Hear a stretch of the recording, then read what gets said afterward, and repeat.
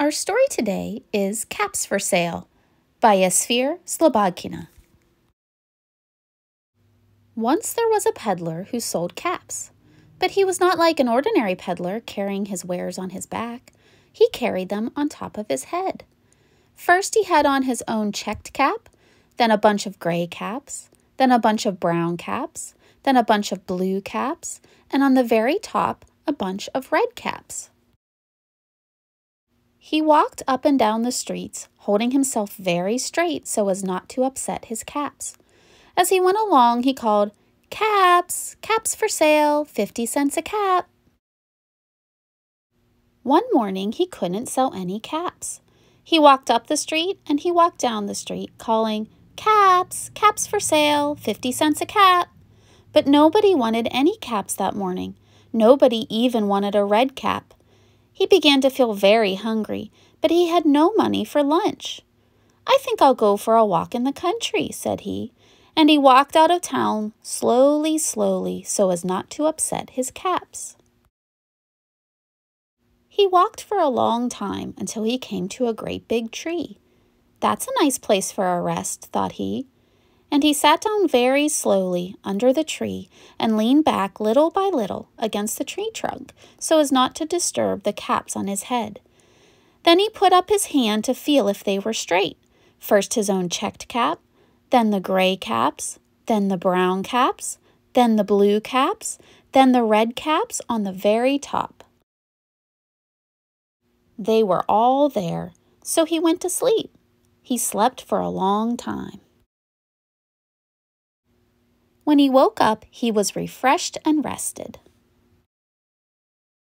But before standing up, he felt with his hand to make sure his caps were in the right place. All he felt was his own checked cap. He looked to the right of him, no caps.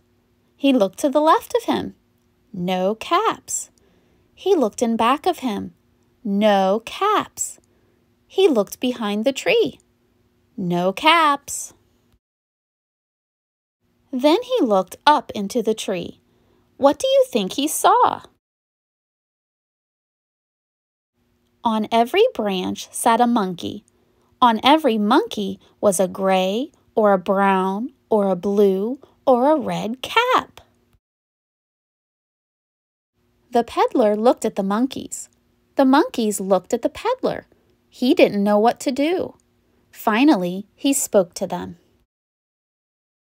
You monkeys, you, he said, shaking a finger at them. You give me back my caps.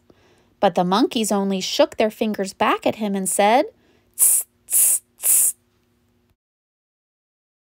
This made the peddler angry, so he shook both hands at them and said, You monkeys, you, you give me back my caps.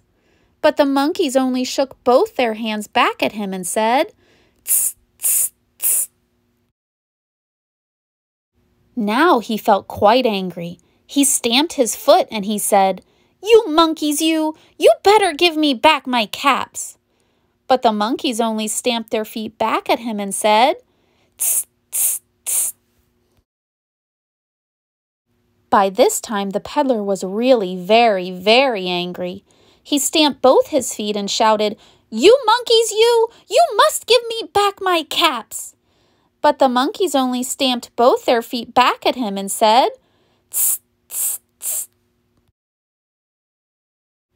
At last he became so angry that he pulled off his own cap, threw it on the ground, and began to walk away. But then each monkey pulled off his cap and all the gray caps, and all the brown caps, and all the blue caps, and all the red caps came flying down out of the tree.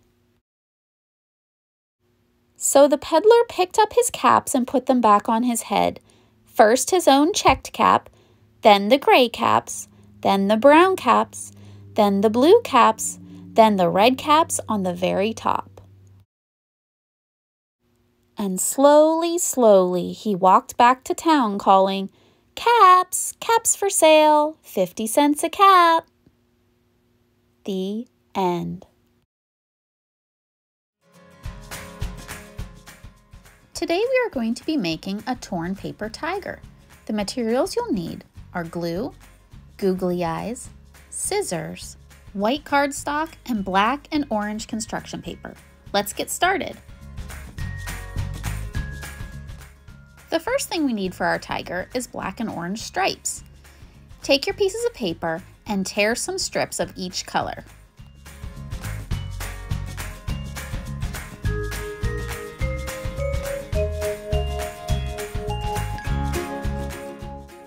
Glue your strips onto the white paper in an alternating pattern.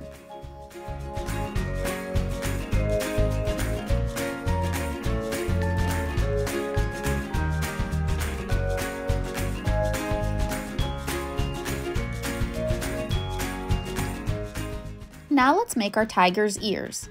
I'm going to fold my orange paper in half and cut out a triangular ear shape.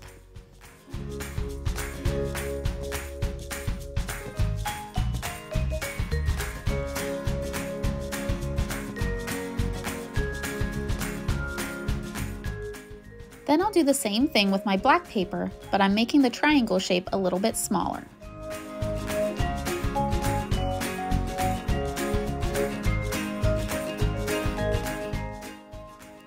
Glue the black triangle on top of the orange triangle, and then you can glue the ear on top of your tiger.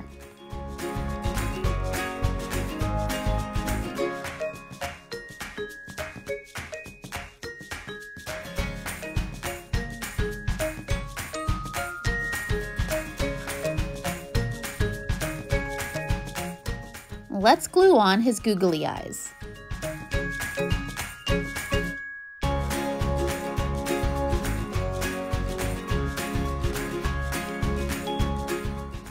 Cut a shape out for the nose and glue it on.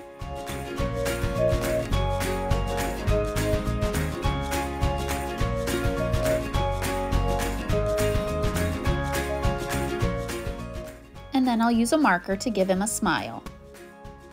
And here's my finished tiger. He was a lot of fun to make. Thanks for watching today's Storytime snippet. Our code word for Beanstack is tiger.